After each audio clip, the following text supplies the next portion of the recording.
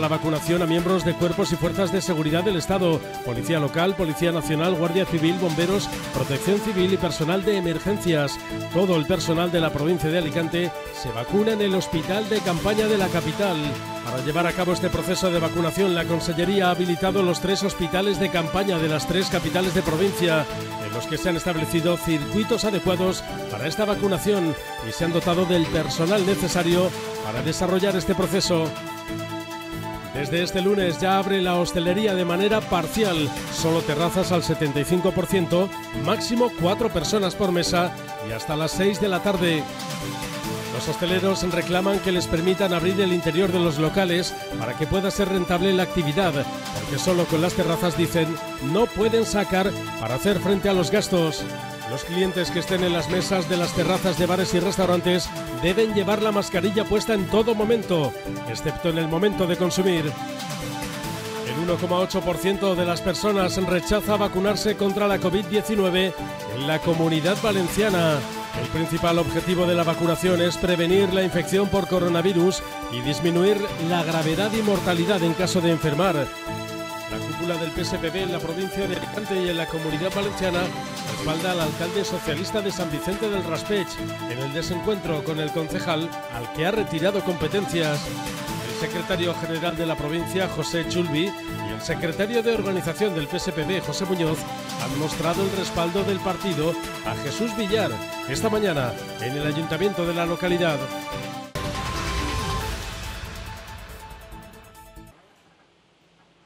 Estas son imágenes esperanzadoras, son de esta mañana en el hospital de campaña del Hospital General de Alicante. Desde este lunes ha empezado la vacunación con la vacuna de AstraZeneca a los miembros de cuerpos de seguridad de la provincia de Alicante en este hospital de campaña. Policía local, Policía Nacional, Guardia Civil, Bomberos y Protección Civil, así como todo el personal de emergencias. Para llevar a cabo los procesos de vacunación, la Consellería de Sanidad ha habilitado los tres hospitales de campaña de la Comunidad Valenciana, ubicados en las tres capitales de provincia, Castellón, Valencia y Alicante, en los que se han establecido circuitos adecuados para esta vacunación y se ha dotado del personal necesario para desarrollar este proceso. Son recibidos por un personal de enfermería, se le entrega un cuestionario que tienen que contestar respecto a temas de salud y a continuación son acompañados a cada uno de los puestos para ser vacunados. Una vez que se han vacunado esperan un cuarto de hora para ver si existe algún efecto adverso y a partir de ese momento se vuelven a su casa o a su destino o abandonan el recinto. Nosotros el hospital lo que ha aportado son los recursos humanos, los recursos materiales y la infraestructura son los mandos de cada uno de los fuerzas esenciales los que van enviando a su personal para la vacunación. Los pacientes están siendo convocados desde las 8 de la mañana hasta las 8 de la tarde, de lunes a sábado, hasta que finalice la vacunación de las personas convocadas, los miembros de las fuerzas y cuerpos de seguridad del Estado que prestan servicio en la comunidad valenciana. La previsión es vacunar a 120 personas a la hora aproximadamente en este hospital de campaña de Alicante. Hoy es un día para la historia porque ha comenzado ya la vacunación para los agentes de los cuerpos y fuerzas de seguridad, Policía Local, Policía Nacional, Guardia Civil, también para los bomberos y los voluntarios de protección civil. En estas instalaciones del Hospital de Campaña de Alicante se está vacunando a todos los agentes de toda la provincia que van pasando por aquí, además los sanitarios están dando todo en este primer día de vacunación para que las vacunaciones vayan muy ligeras.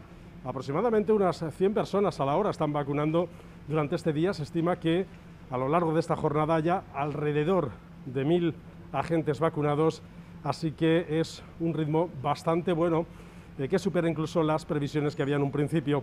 Es un engranaje perfecto el que hay dentro del hospital de campaña, preparando las vacunas, atendiendo a los eh, que vienen a vacunarse y después también una zona de reposo, porque tienen que estar unos 15 minutos después de la vacuna esperando por si tuviesen algún tipo de reacción. Es un día esperanzador el de hoy. Nuestros agentes, los que velan por la seguridad, empiezan a estar vacunados. Bueno, este es un reto unido a todos los retos que llevamos viviendo a lo largo todo el año, pero sí, es un reto más. Sí, sí, la gente está respondiendo bien y todo el mundo viene a vacunarse. De momento no conocemos ningún caso que, no se haya vacunado respecto a lo planificado. Cada hospital de campaña ha sido dotado de los equipos de profesionales de vacunación específicos. El Hospital de Campaña de Castellón cuenta con cuatro equipos de vacunación, el de Valencia con 15 equipos y este Hospital de Campaña de Alicante cuenta con 10 equipos de profesionales para desarrollar esta campaña de vacunación a los agentes de seguridad. Ahora mismo la situación está muy bien, pero no tenemos que olvidar que es momento de ser prudente, porque aunque estamos en, en un momento de bajada de casos, eso no quiere decir que si la población se relaja un poco volvemos a, pasar otro momento difícil como hemos pasado, con lo cual yo pido precaución a la población, mucha precaución. Los cuerpos de seguridad de la comunidad valenciana están formados por unas 24.000 personas a las que se les va a administrar parte de las 79.400 dosis que se espera inyectar en estos días. Además de los agentes, se continúa vacunando estos días a personas mayores de 80 años y a aquellos a los que se les completa el proceso con la segunda vacuna.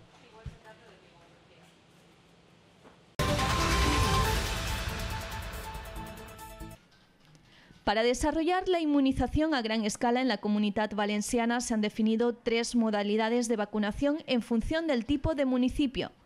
Tres municipios en función de su tamaño los municipios con menos de 10.000 habitantes, las ciudades con 50.000 habitantes y las grandes ciudades como Valencia, Castellón, Elche y Alicante. Aquí en la provincia de Alicante ya se han elegido las zonas donde llevar a cabo esas vacunaciones masivas. Está la Ciudad de la Luz y el Instituto Ferial Alicantino, IFA.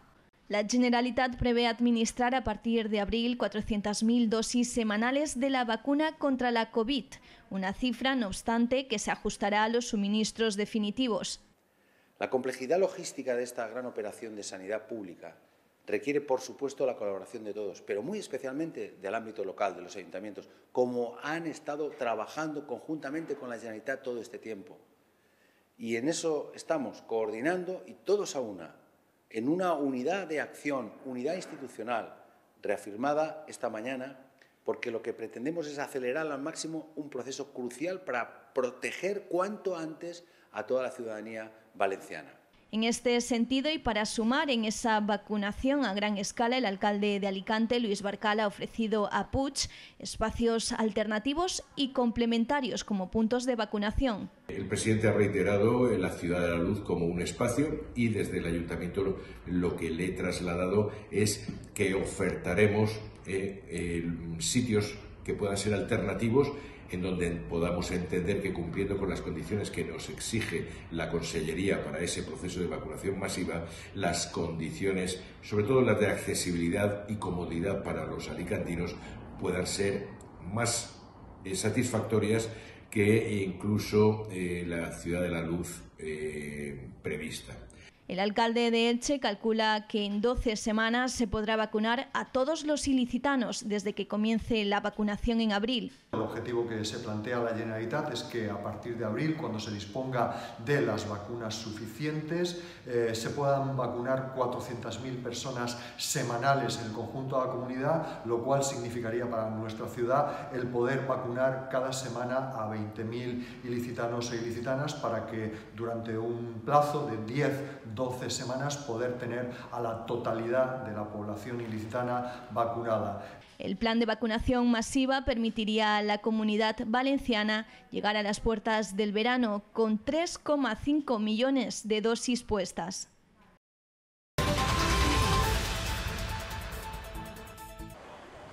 La hostelería ya ha podido abrir sus puertas desde este lunes. Bares, cafeterías, restaurantes y locales de ocio como pubs y discotecas pueden retomar su actividad, pero con muchas limitaciones. Solo las mesas al aire libre, con un máximo de cuatro personas por mesa y hasta las seis de la tarde.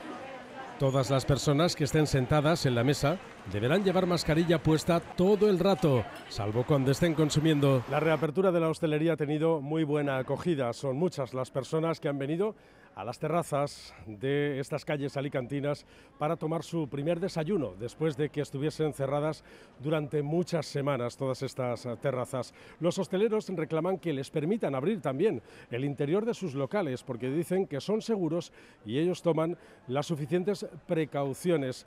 Dicen que solo con los veladores, no pueden sacar adelante sus negocios porque no son rentables. De momento las medidas son que les dejan abrir las terrazas al 75% con cuatro personas en cada mesa como máximo y todas ellas tendrán que llevar la mascarilla puesta siempre que no estén consumiendo. Estábamos deseando porque las calles estaban muy vacías y, para quedar con amigos o algo pues se necesita.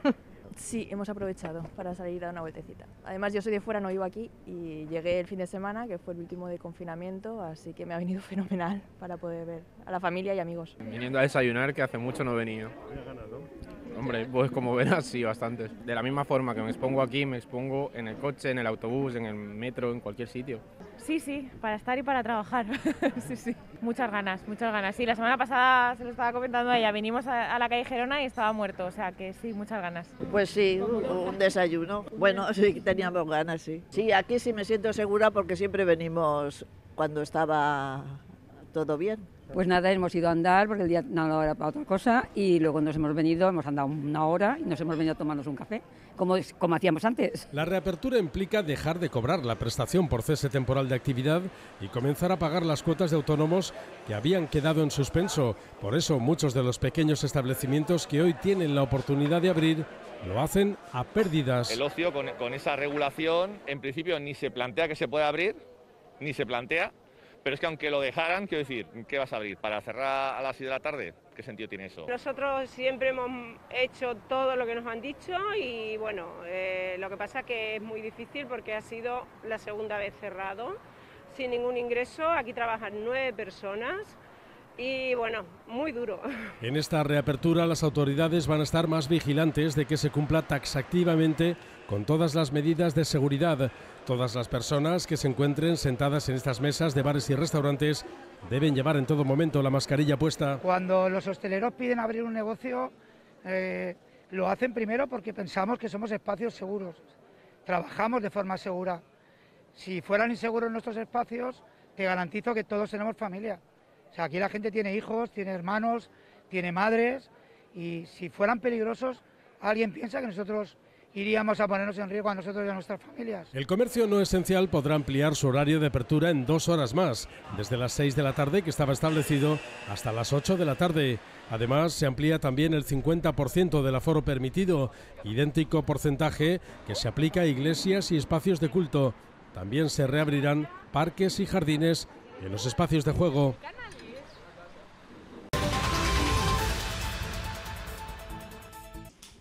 La comunidad valenciana ha registrado 335 nuevos casos de coronavirus confirmados desde la última actualización, que sitúan la cifra total de positivos en 378.604 personas. Por provincias, la distribución de nuevos positivos es la siguiente: 32 en Castellón, 135 en Alicante y 168 en Valencia.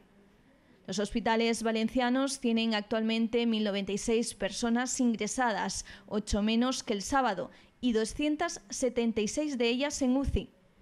102 en la provincia de Castellón, con 20 pacientes en UCI, 486 en la provincia de Alicante, 126 de ellas en UCI, y 508 en la provincia de Valencia, con 130 de ellos en UCI. Según ha apuntado Sanidad, no se ha podido reportar el número de fallecidos durante este fin de semana, que se recuperará en la próxima actualización.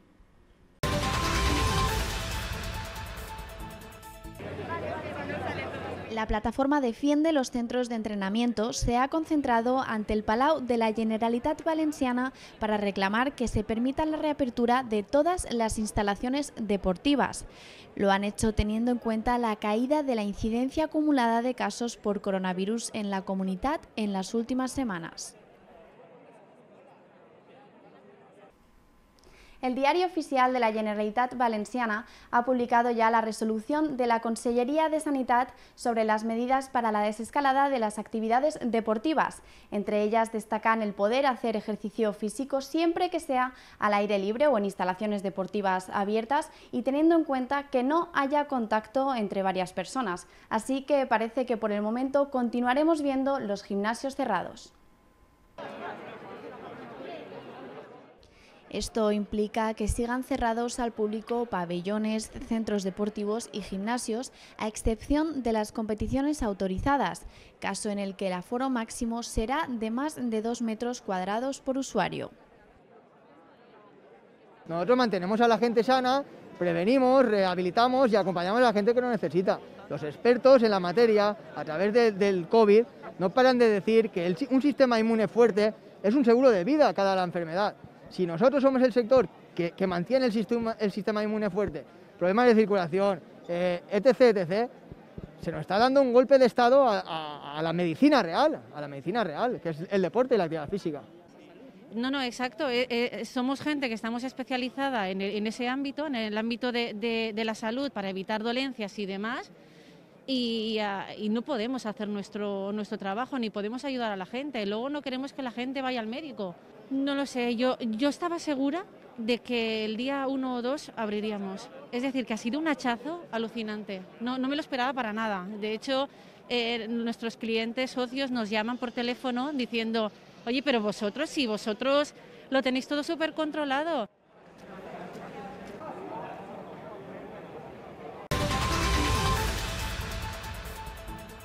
Aunque el motivo oficial era la presentación del plan Resistir en la localidad, Hoy la actualidad mediática de San Vicente del Raspech venía marcado por las discrepancias y fricciones dentro del Partido Socialista. Así lo ha dado a conocer el secretario de organización del PSPB-PSOE, José Muñoz, que ha estado acompañado por el secretario general de la provincia de Alicante, José Chulvi. Eh, como decíamos al principio, un alcalde que ha pasado de cinco concejales en una situación de gobernabilidad compleja por el pluripartidismo que había aquí y que ha pasado de cinco concejales a diez, pues evidentemente eh, cuenta con todo el apoyo del partido y por tanto está respaldado en las decisiones que, que tome en el ámbito municipal. Y quiero, quedar, y quiero que quede claro esta cuestión.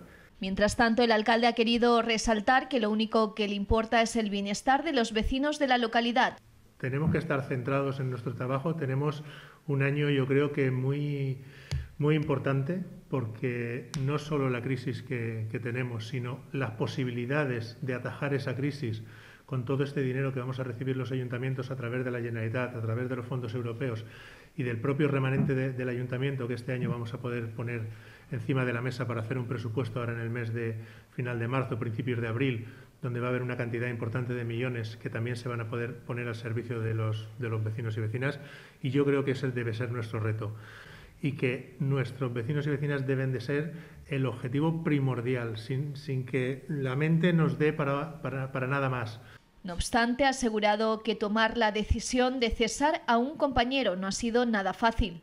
Quitarle las competencias a un compañero no es fácil, es una cosa que, que cuesta, que lo tienes que pensar mucho, pero que cuando crees que es la mejor solución, lo haces pensando en los vecinos y vecinas y yo espero que con el resto de compañeros y compañeras podamos seguir trabajando a partir de, no de mañana, sino desde hoy mismo, para atajar todas las necesidades de... porque es para lo que nos eligieron y es lo que nos están pidiendo en la calle. En la calle no quieren que tengamos líos, en la calle no quieren que tengamos problemas internos. A ellos, a, los ciudadanos, eso les da lo mismo. Lo que quieren son soluciones y en este sentido ha asegurado que espera que se vuelva a la normalidad lo antes posible, tanto en el Pleno Municipal como en el Departamento de Comunicación del Ayuntamiento.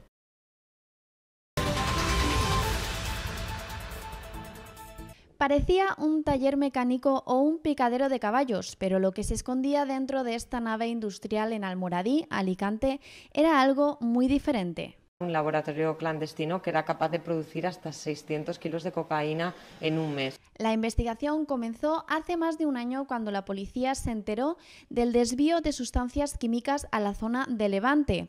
Eso les llevó a descubrir una organización criminal que producía y distribuía grandes cantidades de droga. Así fue como dieron con la nave y hallaron el laboratorio oculto.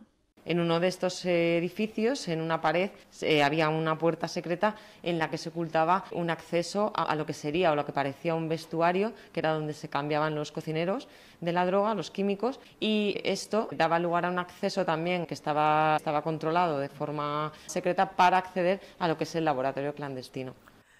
La policía entró en plena producción y logró intervenir 17 kilos de cocaína en diferentes fases del proceso. También encontró más de 3.000 litros de químicos para la elaboración de la droga. En algunas de las inspecciones, los agentes caninos ayudaron con su olfato. Además, en el suelo de un ring de gallos encontraron enterradas varias pastillas de cocaína. El operativo ha terminado con 30 personas detenidas. Por otro lado, la policía descubrió que la organización también distribuía hachís y marihuana y que disponía de todo un entramado empresarial para blanquear las ingentes ganancias de las ventas.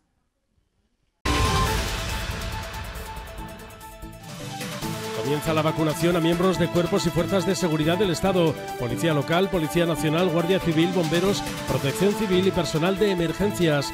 Todo el personal de la provincia de Alicante se vacuna en el Hospital de Campaña de la capital. Para llevar a cabo este proceso de vacunación, la Consellería ha habilitado los tres hospitales de campaña de las tres capitales de provincia, en los que se han establecido circuitos adecuados para esta vacunación y se han dotado del personal necesario para desarrollar este proceso. Desde este lunes ya abre la hostelería de manera parcial, solo terrazas al 75%, máximo cuatro personas por mesa y hasta las 6 de la tarde. Los hosteleros reclaman que les permitan abrir el interior de los locales para que pueda ser rentable la actividad, porque solo con las terrazas dicen no pueden sacar para hacer frente a los gastos. Los clientes que estén en las mesas de las terrazas de bares y restaurantes deben llevar la mascarilla puesta en todo momento, excepto en el momento de consumir. El 1,8% de las personas rechaza vacunarse contra la COVID-19 en la comunidad valenciana. El principal objetivo de la vacunación es prevenir la infección por coronavirus y disminuir la gravedad y mortalidad en caso de enfermar. La cúpula del PSPB en la provincia de Alicante y en la comunidad valenciana respalda al alcalde socialista de San Vicente del Raspech en el desencuentro con el concejal al que ha retirado competencias. El secretario general de la provincia, José Chulbi, y el secretario de organización del PSPB, José Muñoz, han mostrado el respaldo del partido a Jesús Villar esta mañana en el ayuntamiento de la localidad. El interés por tener en verano un certificado de vacunación aumentó este jueves entre los jefes de Estado y de Gobierno durante la cumbre que celebraron telemáticamente. Sin embargo, todavía persisten las dudas sobre el uso exacto que se le debe dar al documento. La canciller alemana Angela Merkel aseguró que todos los líderes europeos estuvieron de acuerdo en desarrollar un sistema a nivel europeo que permita homologar los diferentes pasaportes de vacunación que están desarrollando los 27. Por su parte, la presidenta de la Comisión, Ursula von der Leyen, fue más cauta y alertó contra unas expectativas demasiado altas demasiado pronto, porque al menos se requieren tres meses para avanzar en los aspectos técnicos antes de que este certificado pueda implantarse a nivel europeo. Member states will need to move fast with the implementation if we want such a green certificate to be in place uh, by summer. Beyond agreeing on the principles and the technology, they will have to ensure a quick and complete rollout in their national health system and in their border systems. El presidente del Consejo Europeo, Charles Michel, avisó de preocupaciones legítimas en cuanto a un riesgo de discriminación y que el certificado otorga a las personas vacunadas derechos que no tienen las que no han recibido la inmunización. En la misma línea se expresó el presidente francés Emmanuel Macron, que aseguró que el certificado no debe ser condición para poder viajar. Mientras Merkel defendió el documento como una opción complementaria, ya que solo un 8% de la población adulta de la Unión Europea se ha vacunado, por lo que para que se permita viajar a las personas inmunizadas, antes se debe de haber ofrecido la opción de recibir el fármaco al resto de ciudadanos, dijo la canciller alemana. Más favorables se mostraron los líderes de los países del sur de Europa, muy dependientes del sector turístico. El presidente del gobierno español, Pedro Sánchez, defendió el certificado de movilidad como una herramienta válida y útil y por ello pidió trabajar de forma conjunta en su desarrollo para evitar que cada país decida su propia fórmula. Mientras tanto, y ante el avance de las variantes, los líderes europeos acordaron mantener las restricciones a los viajes no esenciales, como ya pactaron en su anterior encuentro en enero.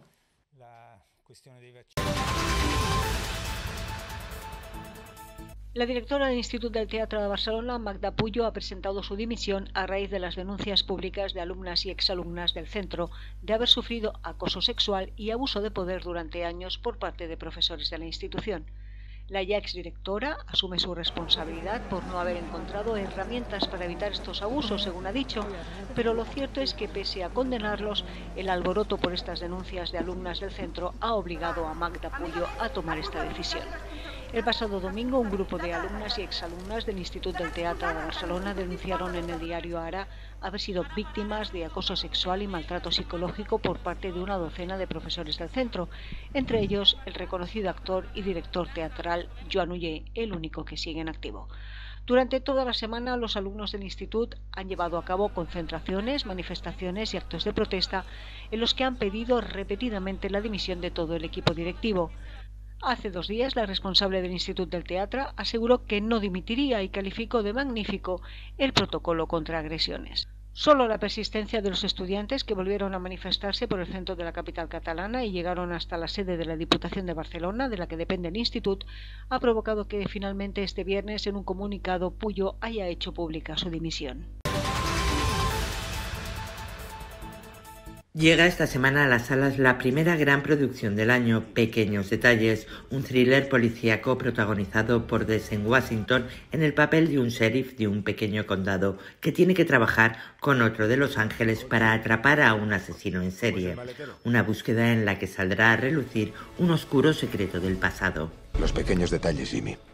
De secretos adolescentes trata Dating Amber, una comedia romántica ambientada en la muy católica Irlanda de los 90 sobre un chico y una chica que fingen ser pareja para alejar los rumores sobre su homosexualidad que corren por el instituto. ¿Eres gay? No soy gay.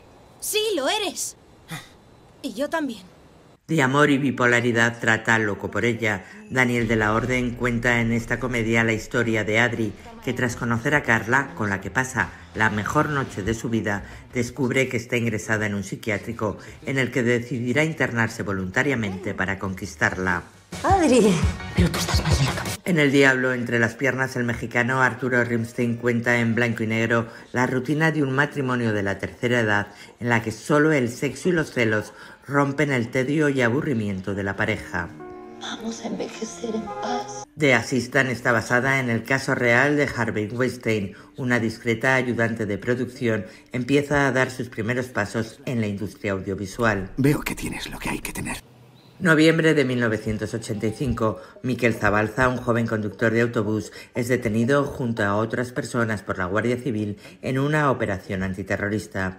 Cuando el resto de los jóvenes son liberados, denuncian haber sido salvajemente torturados. Miquel no está entre ellos. Las autoridades alegan que sí ha fugado, pero 20 días después su cadáver aparece en el río Vidasoa. Durante esos días, las calles del País Vasco ardieron con un grito. ¿Dónde? Y del País Vasco a Congo Mirador, un pueblo flotante de Venezuela donde la vida fue atractiva y bohemia, pero que hoy se encuentra afectada por la corruptela, el cambio climático y el éxodo de la población. La directora Anabel Rodríguez construye una metáfora de todo el país. Y el que no lo quiera no puede entrar, porque ¿por dónde va a entrar sin tocarlo? Viajamos a las librerías neoyorquinas con un documental que rinde homenaje a la cultura del libro y examina temas como el impacto de la tecnología, el valor de los libros como objetos físicos, el declive de las librerías y la obsesión por coleccionar. Y para los más pequeños llega a las salas El Caracol y la Ballena. Un intrépido caracol con ganas de descubrir mundo se embarca en un viaje a través de los mares en la cola de una ballena jorobada pero un día la ballena pierde el rumbo y termina varada en una bahía aislada. ¡Salvad a la ballena!